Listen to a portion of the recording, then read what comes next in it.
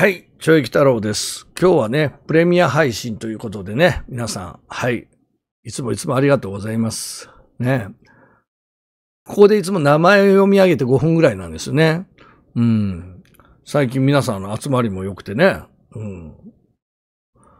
まあ今日はね、ちょっと、えー、所要ということで、ね、あの、おそ、うん、ちょっと講演活動ね、お話をするということ。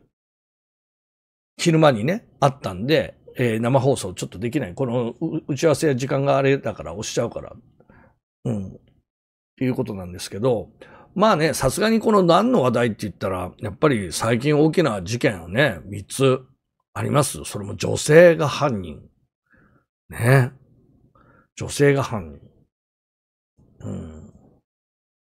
まあこの、田村親子のね、すすきのの首切断事件。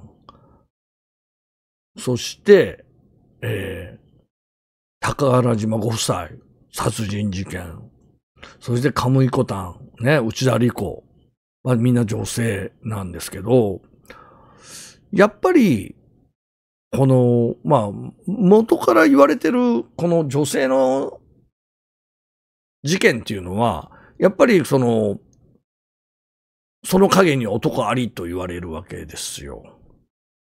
でも殺人ってそういうのって薬物とか横領とか窃盗とか、まあ最近だと詐欺？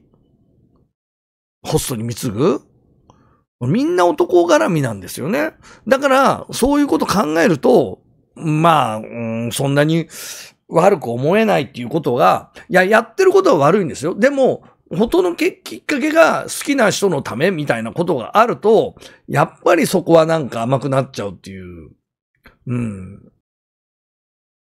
ただ言ってもよくあるのが、女性の犯罪で、まあ多いのはその、自分の子供を殺める、殺すっていう。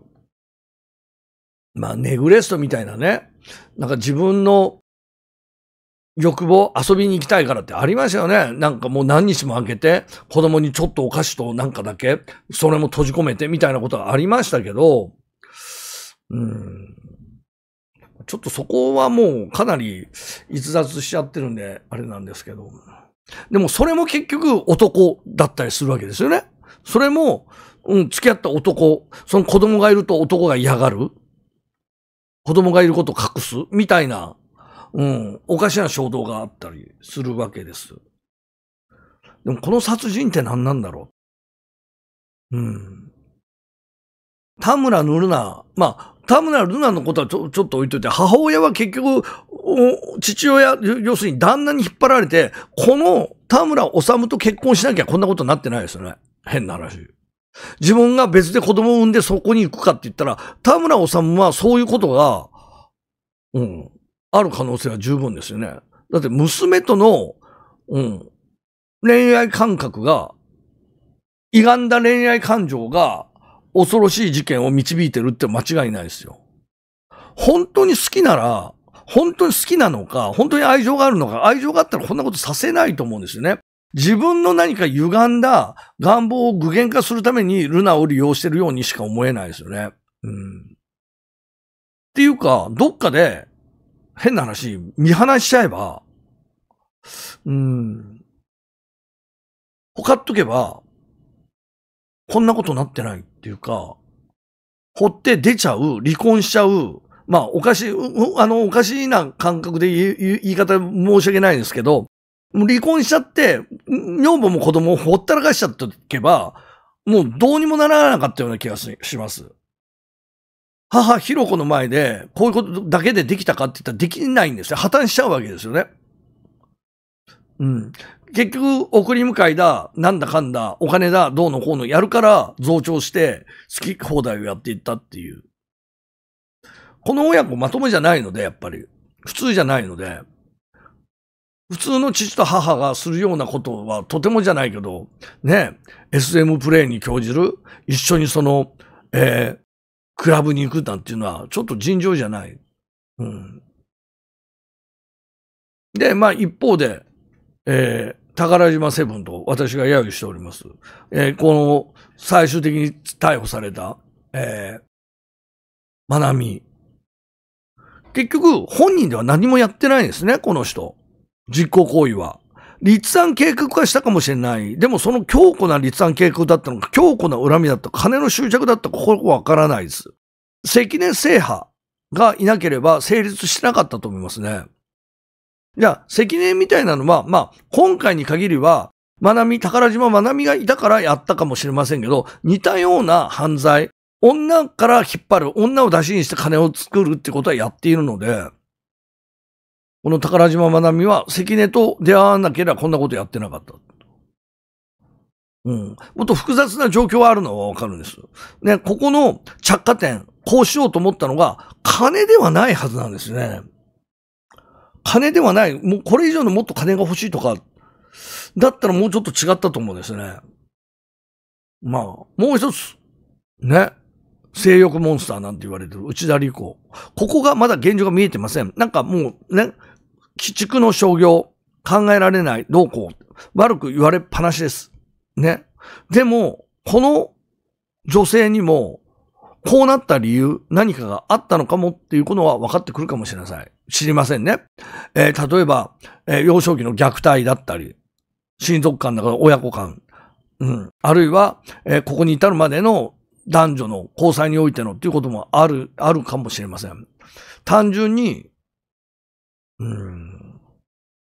まあ、女の子の犯罪で過去にはありますよね。非常に、えー、長崎の事件だとか、明大生の事件だとか、え？っていうような事件はなくはないんですよ。実はなくはないんですよ。うん。もう、幼少期から強強度な、強固な、あの残虐性。うん。そういう風なのかな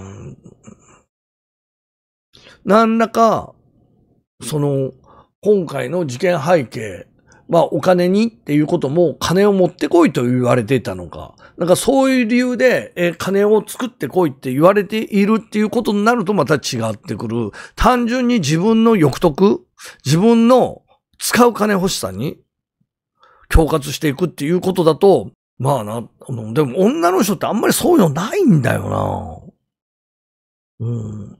いや、自分の、その、なんか、にお金っていうのは、そういう騙し方じゃない。男を色化にかけてどうこうするっていうようなことだったり、単純に金だけが欲しいなら、その性風俗的なこととか、水商売的で作る方法もあるわけだけど、ダイレクトに恐喝みたいなのって、あんまり効率が良くないような気がするんですよね。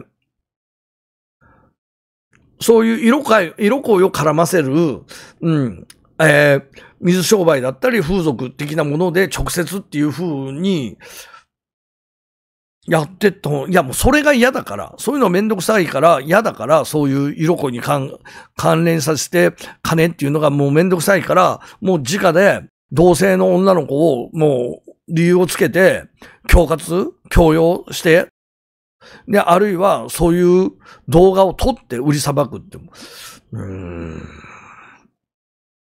そういう若年層のそういう卑猥な動画っていうものは、いや、本来出せないものだから、流通しないし、大、あの、持ってるだけでも、えー、ポルノ法に、自動ポルノ法に引っかかるので、普通の人は触らないですよ。絶対に。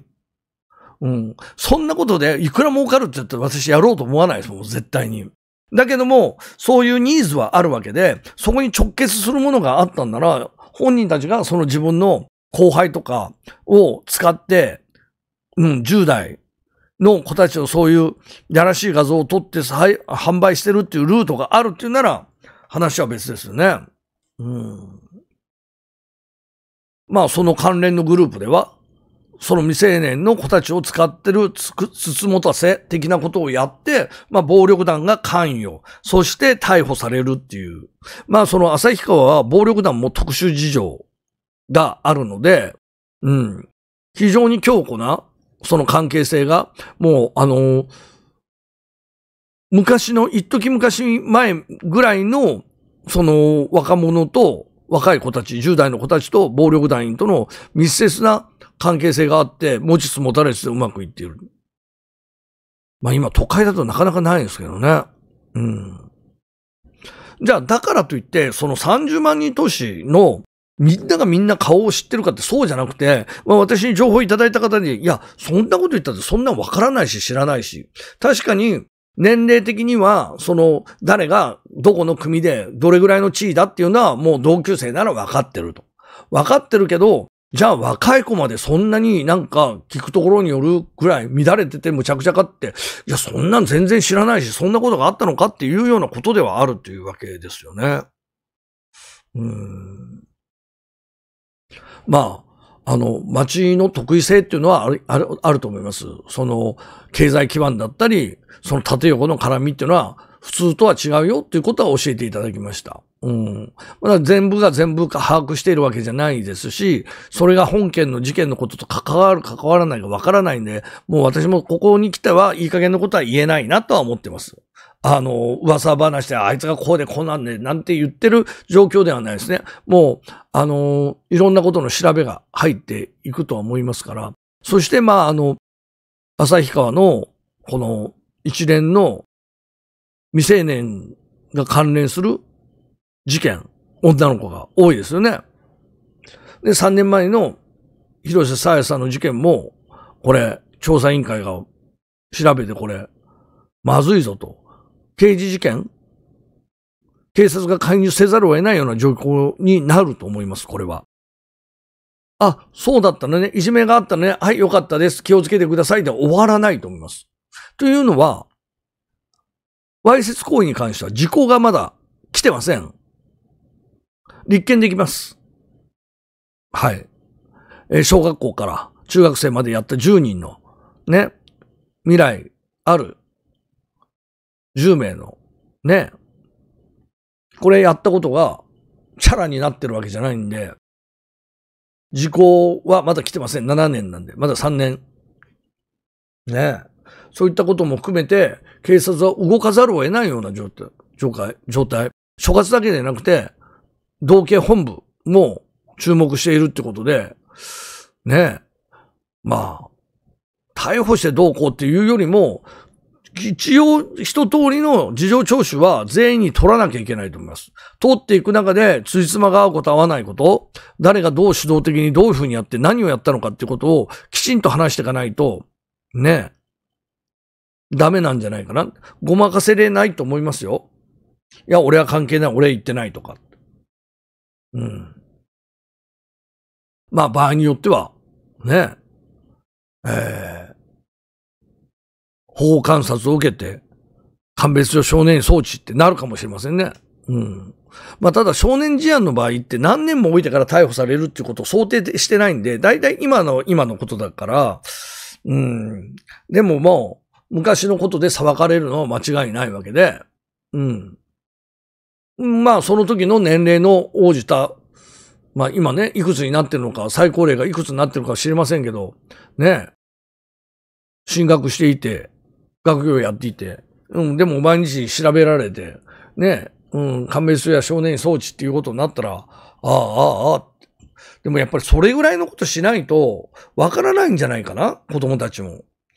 いじめって、いじめって言うとなんかすごくライトにあれなんだけど、障害だったり暴行だったり脅迫だったり恐喝だったりするわけだから、ねいやいやいや、何にも言ってないけど、おごってくれるんだ、あいつって。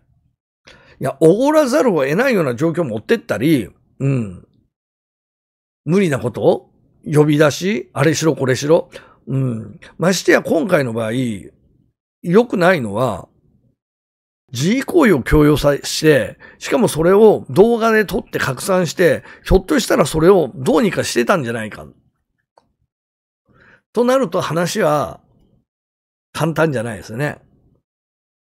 組織的に何かそうやってやって。じゃあなんでその学校が違う子たちがこんな集まったんだって話なんですよ。ここの問題点はすごくあって、普通はさやさんの学校で起こった中学校の一校のことだったら、これ非常に問題になったはずなんですよ。ところが分散しちゃったんですね。いろんな学校の小学校から中学校からいくつまであったんで、これ、ことの重大性を重く感じなかったそれぞれの教員が、うちのことじゃないしって。うちも巻き添い食った側だから。まあまあまあまあっていうものが働いて、どこもどこもなすりつけ合いじゃないけど、どこも主犯的なことじゃなくて、まあまあまあっていうことで、もみ消せす、関与していきたくない？うん。大きい事件にしないようにと。だって一つの学校だったらもうどうしようもないじゃないですか。うん。だけど分散しちゃったことによって薄まっちゃった。どこかの誰か、いや、これはもう大変な問題だから、これはきちんと話し合いになり処分しないといけないっていう方向に行ったんならあれだったけど、まあまあまあまあまあまあまあまあっていうことが分かりにくくして、まあまあまあになってるから、それを聞いた子供たちの親も、いやいや、これそんな言われることじゃねえんじゃねえのと。なんでこんな大げさなんだと。うちの子は巻き込まれただけだと。うん。っていうふうに取っちゃってたんなら、ね、こんな逆、悪い偶然が重なるのかと。うん。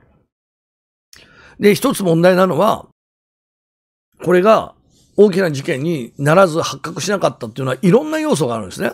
彼女自体が、その、何らかの障害だったり、何らかの症状、症状って言い方が、ね、うん、本人は自閉症スペクトラム、ね、えー、多少のそういう知的なことの遅れが、だかこれが言いにくいんだよな。こういうことで結局報道できなくなっちゃった。被害者の人が何らかの、でも、それって人さ、それぞれで、そうだからって言って勉強ができないわけでもなく、認知能力が衰えるわけでも、判断能力が衰えるわけでもない。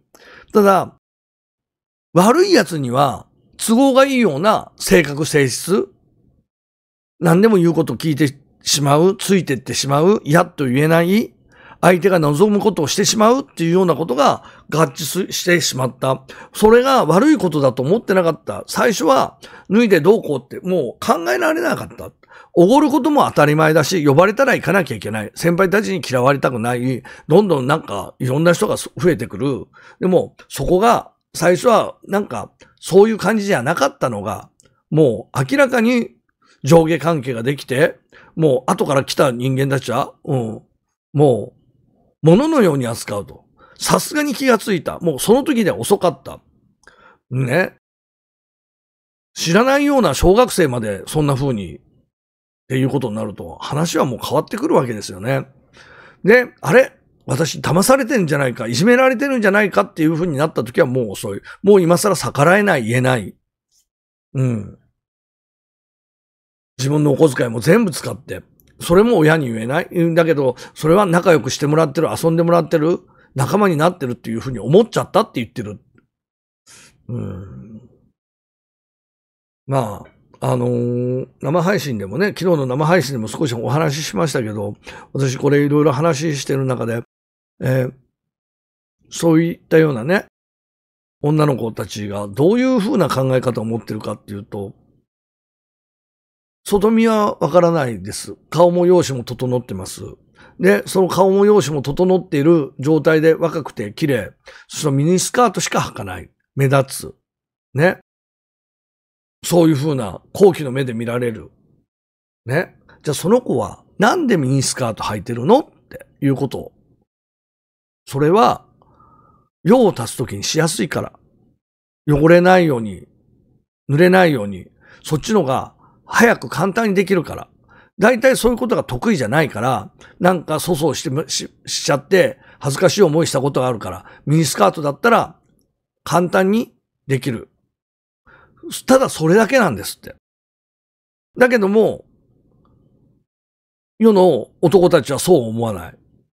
ね。露出が。で、誘われる、連れて行かれる、嫌って言えない。でも、周りの大人、やめなさい、これ、うん、気に入ってるもん。これが好きだもん。なんでダメなの？っていうことになっちゃう。いや、長ズボン履いて黒ずくめで着ろなんては言わないけども、うん、そういったことがあるっていうことをね、私も聞いてびっくりしました。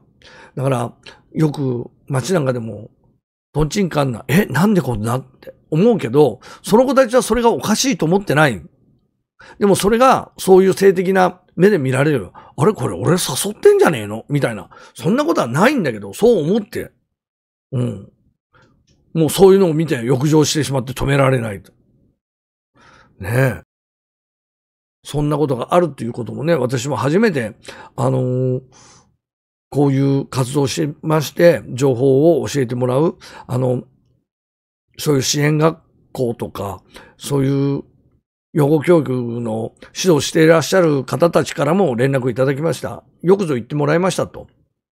うん。なかなかそこにスポット当てて注意喚起してくれる人っていないんですよね。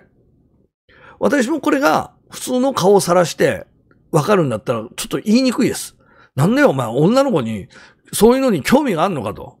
お前そうやって言ってるのお前がお前やらしい思いして、思いでやってんじゃねえかなんて言われちゃったらもう、だからそれ言われちゃった時にもう言いようがないんですよね、結局。そんなつもりじゃないんだけど。でも、そういうことをするなら、自分にもこういう状況でこういう風でって言ってかなきゃいけないってもなかなか難しいんだけど、こういうことってなかなか女の人の口から言えるわけでもなく、例えば言えるのは、そういう被害になったお父さんとか、うん、自分の兄弟がそうなったって言って、こういうことがあるっていう風に活動家的な方もいるかもしれませんけど、一般の父親がね、自分の娘がそういうことになってるわけでもないのに、普通の人に向かって、こんなことおかしい、こんなことになるよって、なかなか難しいですよね、正直言うと。あなたなんでそんな格好してるの？って言いにくいですよね。うんどこの時点でどういう指導していくかって非常に難しい。うん、家庭でも限界があるし、学校でも限界があるし。それ一歩出てしまえば、ね、学校も家庭も関係ないよと、10代半ばぐらいで、いやいや、親なんか関係ないし、家も出てっていう風になっちゃうと、もう本人のやりたいようです。行きたいようになっちゃう。うん。それが、そうしたからって全部不幸につながるとは言いません。言いませんよ。言いませんけど非常に確率は高い。その女の子たちが危険に合わないっていう、合う確率っていうのは、そういったような、その格好が悪いって言ってるわけじゃないですよ。別に好きな好きでもしていいんだけど、そういう要因もあって、そういう要因もあって、えー、お酒を飲む。ね。あ、お酒好きなの？じゃあ飲もうよ。で、誘われることは、飲めません。タバコも吸いませんってあんまり誘われない。行きません。うん、飲めるうん、いいよ、飲むよ。飲もうよ。わーキャーってなってそういう風になる。タバコも吸う。え、タバコ吸えんだ。じゃあ、ね？そういうものを、違法な、オーガニック、ね？緑の葉っぱ。何の気のしに、そっからソフトなものからハードに行ってしまう。いや、酒もタバコもやりませんって言ったら、そこに到達しにくいです。ゼロとは言いません。あ、お酒飲まないから。じゃあそういう飲み会行かない。タバコ吸わないからそういうのもいいいりません。もう吸えるわけがないって言えば、やっぱりそこで安全は一つ、安全度は上がるわけですよね。やっぱり懸命なお父さんお母さん、おじいさんおばあさん、ね、10代で子供、やっぱり酒タバコっていうのは、いいなんて言っちゃいけませんよね。どうしてもっていうのは成人してから自分で判断でしなさいと。10代でやっぱり、まあ、なるべくならそうしない方がいい。っていうことは一つの基準。絶対に飲酒、タバコはさせない。うん。だって、ね白い粉のもの、タバコも酒もやらないって言って、いきなりそれってなかなかないと思いますよ。いきなり、うん、そこにはいかないと思います。やっぱりお酒、タバコ、本当に言った、よく言ったもんですよ。なんでそんなこと言ったってよって。そんな昔、自分たちの若い時ですよ。酒やタバコがダメなんて言ったってって言うけど、私ここ一番大事だと思います。本当にこの法律はよくできる。もう、したいなら成人してから。うん。18歳じゃないです。成人して、タバコも酒も。体も蝕むし、精神も蝕むし。うん。いろんな入り口になっちゃう。っていうのはもう分かってるんで、やっぱりなるべく、親が吸わなきゃ、親が飲まなかったら、ほと、ほ、ほぼやらないと思います。親が晩酌、親がタバコ吸う、やっぱり子供は、いいかなってなると思いますんで、そういったことを含めて、うん、気をつけていった方がいいと思います。やっぱり。リスクをね、減らすっていう意味では。吸ってなかった、周りで吸ってなかった吸うっていうのは、やっぱり年齢経ってから。でも女の子だったら、彼氏が吸っていた。ね、そういうことになるんじゃないかなっていう。ね。まあちょっと長くなりましたけど、プレミア配信ということで。ね。